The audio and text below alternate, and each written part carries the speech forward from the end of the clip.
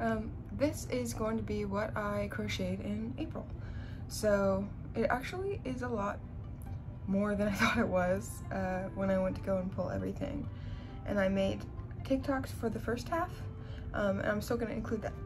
Sorry, I'm still gonna include that stuff in this one. I was nesting yesterday and going through all my daughter's old clothes, so I'm stuffy because I'm very allergic to dust. So let me start with what I put in those TikToks first. So um, these are ones that are gonna go in my discount bin. Um, I was trying to make an otter pattern and I just don't like, um, you know, how big the head turned out on this one. I think it needed to be a little bit higher, so I changed it actually, and I'll show you the difference. This is the one I landed on. I think this one's way cuter, but it's still not my favorite otter pattern, so I'm gonna keep um, trying. And, uh, oh, but I did like that. So I've made, that's what, one pattern so far this month. This panda, I did not even try to redo and finish, even though the only thing wrong with it really is just how far apart the eyes are. It's very wonky looking and it kind of blends in with the ears and I don't like that. Um, so I might just not even do this and try to do, um, make it part of the pattern, but uh, you know, like while I'm crocheting it, but I'm not sure yet. I think it might just be too small to do that, so I might just have to make this bigger. I made another design for bear I like a lot better, it's a lot bigger. I think would lend itself to a panda like so much more. So I'm gonna put that in the bin. I like all of these pretty equally. These are the other egg patterns I came up with this month. It's not bad, so that's two patterns so far, but I don't really count one of those, but I'm still gonna say two. Um, sloth. Now the eyes are far apart on this one, but it's really cute and very sloth-like, so I don't care. I made it in blue because it's a test, and I don't really have a lot of natural colors right now because I'm trying to bust my stash. So I'm hoping a blue sloth will sell because these aren't gonna be super expensive. Um, this one's one of my favorites, Bat. Now this one has a little bit more like holes in it because I think I used like cotton yarn and I don't like cotton yarn. I just don't. Um, it just like does not look as good. It doesn't blend very well. And I use the exact same size hook and it's a thicker yarn than the worsted weight yarn that I'm using. So I'm like, it doesn't, it does not add up. I've had this one for years. Uh, I'm trying to get rid of it with all the mushrooms I made this month. Seal. Now this one I love, I think it's really cute. I probably won't sell very many of them until Christmas, but I think this one would be perfect to bring for like Christmas keychains and stuff like that. Um, and maybe just have like one or two at each fair because people do like seals a lot. It's really cute. Like, I love it. And then I've got a bunny. Now this one I do like this. I've made a bunny and I didn't like it. Um, the ears were like pointy up, pointing up, hated it. These ears, however, got a little bunny tail. I learned how to do a bobble stitch properly this month. A webbit, Wascally webbit. Monkey, I love this design. It's one of my favorite designs from this month. This is probably one I'll make in a bunch of different colors. But I'm gonna take these to a market and see how they do and like which ones sell, but I'll bring a couple of each and they'll just be like a good um, bin for people to go through that are kind of cheap, under $10. So I like this one a lot. So that's one, two, three, four, five, six, seven. And I did two of this free dinosaur pattern that I've seen a bunch of people do. And I don't think mine are as cute as other people's, I'm gonna be honest. It's like cute, but it's not giving dinosaur to me. So you're probably gonna be the only two I make and I've really gotta find like good dinosaur patterns or make my own because like dinosaurs do so well and I wanna have something that's very like, obviously little girls can play with dinosaurs, but a lot of the stuff I make little girls would love and I don't think a ton of them little boys would love. So I wanna have something that is for like a whole range of little kids. Oh, this is the other one that was in my wonky bin and it is really cute. Um, I, I will say that. I do French knots as the spots on my mushrooms because I think they look better. Uh, and I love the blush. It's so cute. It is cute, but it just like does not fit with my regular pattern. I think I like this one better and it's less time consuming. I just like this one better, but they're both really cute. But this one's gonna go to the discount bin. It's not gonna be like crazy discounted, but man, I just roughhoused that man and then I did one with blush, one without. Um, they're dating. They're holding hands and they're dating. Um, Grumpy Frog, Happy Frog keychains. I love these. This is somebody else's pattern. I'm to be putting whose pattern I'm using in the description um, and on screen. So just like just their username and what website I got it from or what websites I know that they use. I'm pretty sure this one is Crafter Frog, which I love their patterns. They have really cute free patterns, uh, which is also the Dinosaurs Crafter Frog. And it is very cute, but I don't think I'm good at making it. So these ones I figured out. Um, there was a learning curve. I undid my first try, but I love them. And everyone I've shown them to is like, oh my God. This one is another one that's free. I'm sure a lot of you have seen this one. I did the little bow on it. So cute. My sister wants this one for her birthday, which is in like a week. I'm gonna let her come and raid my stash for market prep for birthday presents, but I'm gonna make a bunch more of these because I feel like these definitely will sell. They're cute. They'll be cheap. It's something like, I mean, come on. If somebody, if, if somebody bought you this, you wouldn't be like, are you kidding me? Ugh. I'm just like manhandling them. I feel bad for them. Um, this is a little turtle design I made. I don't like it. if I'm honest, I did different green on the bottom, did all the little legs. Took way too long. It's not worth the price it would cost to manufacture these. So I'm not gonna do it. But it is very cute and I'm gonna put them with the regular keychains and sell them at like a normal price. I'm not gonna charge people for um, the learning process, but it is cute. I need to find better turtle pro uh, I need to find better turtle patterns. I've seen a lot of people use some. I'm trying not to buy one. I'm trying to like make up my own so that possibly I could sell one. Um, but this was just way too little. So maybe I need to start bigger and then miniaturize it uh, from there. I've been really tired and I didn't make another video this month because I've been nesting like crazy, getting ready for the baby. And I've been so, so, so exhausted. And I just couldn't uh, until I got like 13 hours of sleep this weekend when my husband was home. I, I couldn't uh, stay awake for three hours after I was waking up. Like I was having to take a nap or two every day and I just was getting no REM sleep. So I'm surprised I got as much done as I did on that mentality and I feel like I could do a lot better and I usually do more pattern designing. Whales, I think this one is a free pattern. If it is, I'll let you know. I can't remember if I did this one myself or if somebody else did it. I think I used somebody else's pattern. I did three of these, two blue, one pink. Pretty dang cute. This one I did yarn blush because the color's too dark. It would have looked bad, but love it. I love the whales. I need to do bigger whales because I know a lot of people say that whales sell super well. So I've got octos. Now this is my pattern for octos, I believe. It's like adjusted from several people's patterns. This one's the littlest and the cutest, but um, just depends on what yarn I'm using. But I love them. Some of them have mouths and some do not, but I love them. This little blue one is so cute. Everybody loves this one specifically. So I feel like I should use like the Caron Silky Soft yarn for these in the future when I buy yarn, but I'm not buying yarn. I'm using like my stash up because I cannot justify buying new trendy yarn like blanket yarn until I use up my stash. Like if y'all saw my stash, guilty. Okay, I think I'll do, um, this is one I was making. I think I showed this one in the video. A makeup bag. No, I don't. I think this one's gonna take too long. It took like three hours to make.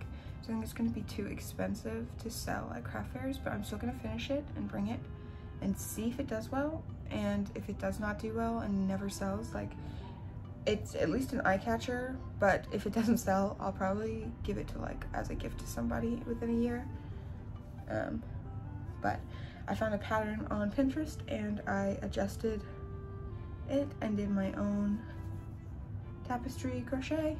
And then I got a black zipper and I'm gonna add that on. So this is a WIP. I'm hopefully gonna finish that this month. But I wrote down the pattern and the tapestry pattern is just one I got from Pinterest. So if you're interested, it's just a sit sprite. Um, but so cute, I love. It's gonna be very cute when it's done.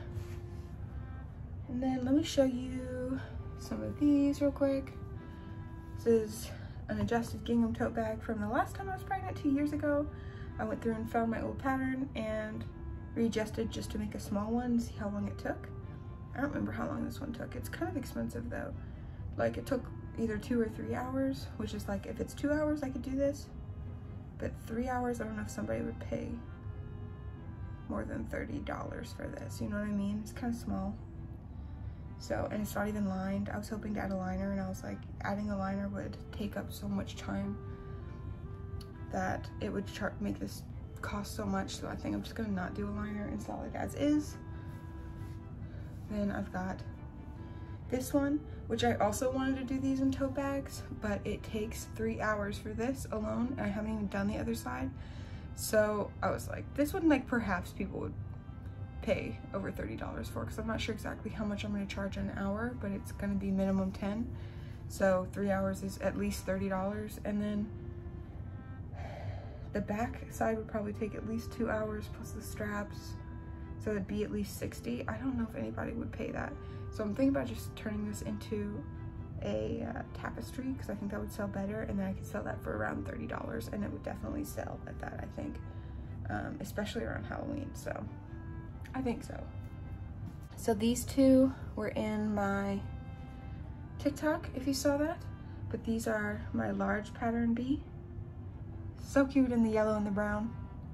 Like literally I'm obsessed. This is my own bee pattern that I adjusted in all these different sizes so I can have different size ranges and like they just look cute all, all different sizes. I want to see what size sells for what prices and like what people are willing to pay.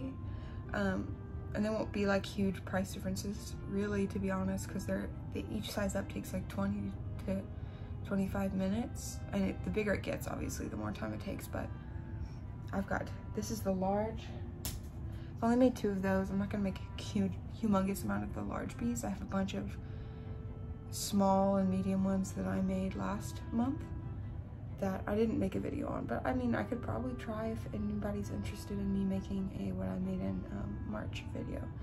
But like, this is the size difference. I feel like these would just be so cute. Um, these ones will be like individually priced probably and just like used as decoration or to fill shelves. So, um, now we're gonna start on the mushrooms. This is the first one I made, and I used a smaller hook size, which is why it's smaller than all the rest of the guys. Uh, see, hook size is crazy. And I also just don't like using 3.5 with worsted weight yarn. It's not my favorite at all. But I did two reds. I did this, um, I have this like brindle almost, so I didn't do the French knots on this one because it would be pointless. Um, I did two of those in medium, or sorry, one of those in medium in this color. I don't know how popular this will be, but these are like in my scrap bin, like really small yarn balls. So I did two of the gray because I thought it was cuter in the gray. Of the medium mushrooms, I did two purples, which actually look cute. I wasn't sure how I was gonna feel about purple, but I think this purple is like nice. Some people really love purple, so this could potentially do really well, and especially closer to Halloween, purple is more popular. And then I've got one pink.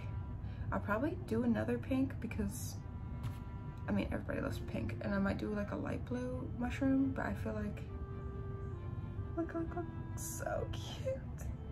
I love it. And then two blue. And I don't know exactly how many that is. It's quite a lot. I think it's nine of the medium mushrooms. And I think those will probably sell the best because they're gonna be the smallest price point. But then I did large mushrooms for, you do that knitting needle hack. I saw somebody do that. You can like spread them across while I'm using one hand. But I did it and I love the green. I bought more green because I was like, I'm so tired of not making stuff in green because I just used up all my green yarn for a blanket for my mom.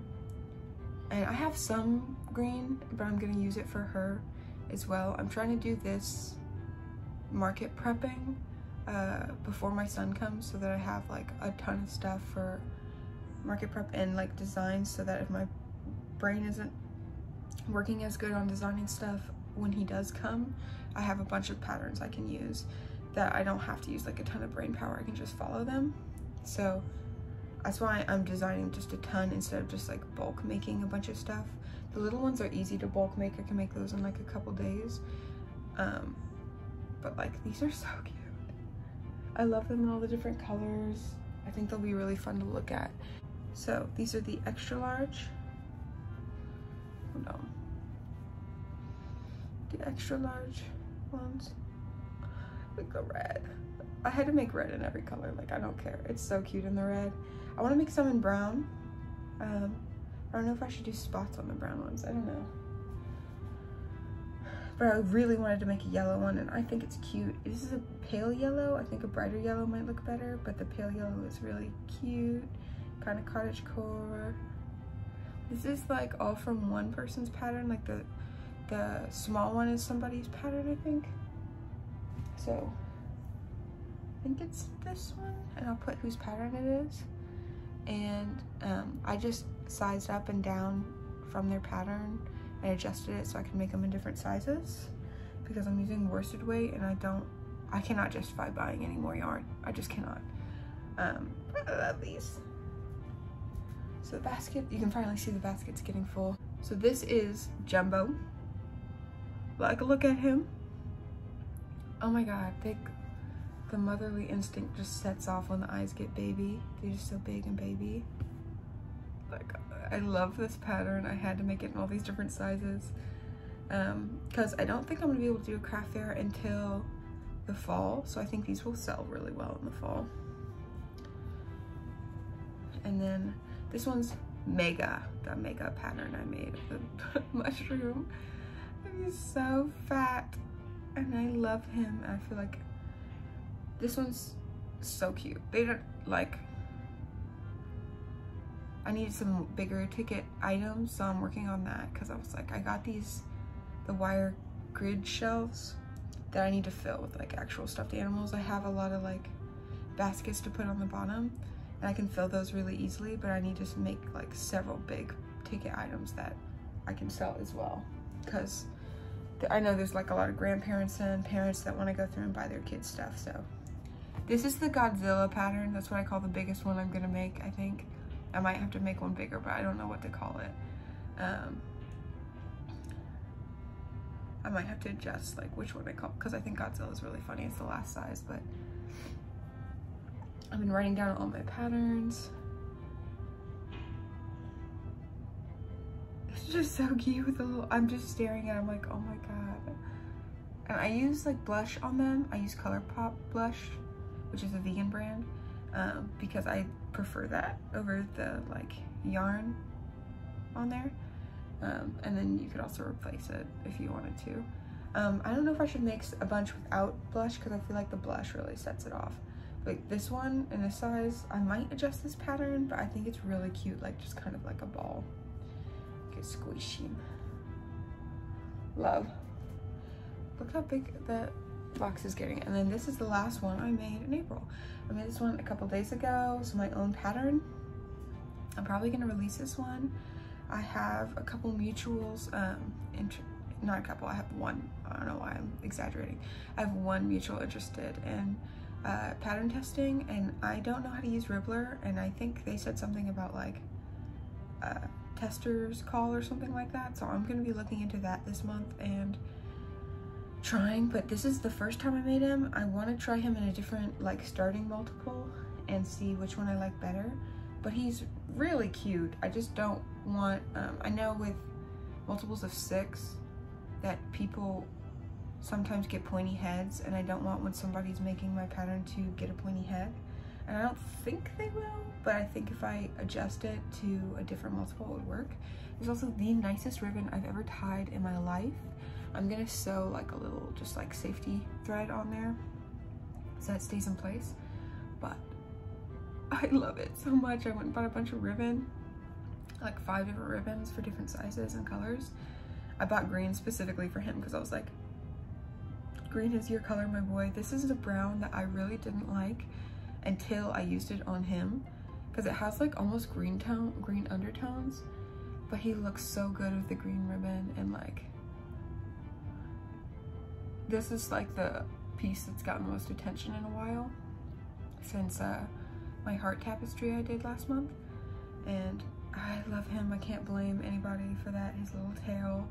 I feel like these would sell. They're pretty universal.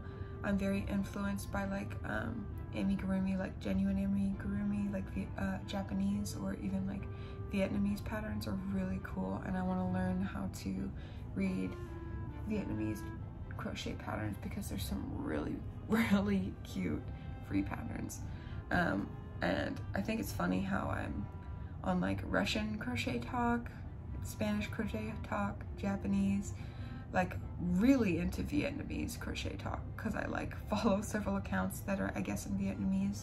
And I had to ask my um, Instagram followers what the hell the language was. And like six people were like you're right that's Vietnamese so I'm hoping and praying it's Vietnamese and not Thai because none of them seemed like they spoke Vietnamese but they could like decipher it because they eat at Vietnamese restaurants and they might have like family members I know one girl is Vietnamese she just does not speak but um, so I'm hoping that that's right and I'm gonna try. And if I learn, I'll make a video about that so I can help y'all translate. But I just love this one. Um, and then the last one I worked on, I did not get finished because now it's May 1st. Um, so I was really hoping to get this one into the April video, but I made that same body, but little, little. Uh, so this is the large pattern, this will be medium. I'm gonna make them smaller and probably one bigger. Um, this is gonna be bunny, I, which is why it doesn't have the snout. I'm gonna, I already made the arm pattern. I made one arm this morning. I'm gonna do the other arm, do the ear pattern and a tail and the ribbon. Um, I'm thinking because this one's pink, it'd be really cute to do like a little like leaf sprout on the top of its head or a flower or something. Um, but I need to figure out how to make a flower that stands up, that's squishy, because I don't want to put wires in my toys because I want kids to be able to grab them. So, I don't know. I was so glad I noticed on this one because I stuffed both the legs, that's how I started, and then it didn't uh, when I, I, finished sewing the head on, I went to check the legs and one was like completely flat. So I had to undo the head and fix the stuffing and now it looks good. And now I see like one hole from where I'm learning to join the legs. I saw somebody teach that on a doll YouTube, like a doll making amigurumi. So if you can see that, I gotta go fix that one little stitch. But I have this extra thread from the head that I'm gonna sew on the arm with and then I'll go fix that and I'll do the other arm and the ears. And so I, I think I can finish this one today. I think so. So I also really want to thank you guys for following me. I hit my first 10 subscribers um, and I haven't posted in three weeks and that made me feel really bad. So uh, I'm gonna make sure I post and try to make a couple videos to back up so that I post at least once a month um, for the next couple months as I have my baby. But I love them. The bear, I'm obsessed with. My daughter loves it. She keeps grabbing for it. And like every time I give it to her, she gasps. She fell asleep with it in her arms last night. And I was like, so cute. And my husband loves it. Um, so I think this is a great pattern to start with. And I really want to be a pattern designer. So I think I'm gonna keep going. And I can make this into so many different animals, which is the body base. So um, yeah. thank you so much for watching if you did. Um, I really appreciate your view and your likes and um, you guys subscribing. Like the support is so, so sweet. And um, for me just starting like, what, two months ago, and I've gotten like a good amount of followers. I'm almost at 150 followers on TikTok. And then I'm at 10 followers already and I've only made one video. And I had the ugliest thumbnail for like the majority of the time. And then I figured out how to use Canva and now the thumbnail's so cute. So I'm hoping to do a really cute thumbnail with this one and I could, I'm also thinking about like turning my patterns into little booklets I could sell at the market. So I think I'm gonna do that. Um, I'm also gonna do um, mystery bags soon. I'm so prepped to do mystery bags and I've been working on the patterns for those. So I wanna make my own patterns like these so I can include those in the mystery bags uh, when I do them for like certain price points. But anyways, again, sorry for rambling. Um, thank you so much for the support and anybody that watches my video. Uh, I very much appreciate it and I'm so thankful. Um, so I'll see you in the next one. Thank you for watching if you watched all the way to the end or at all.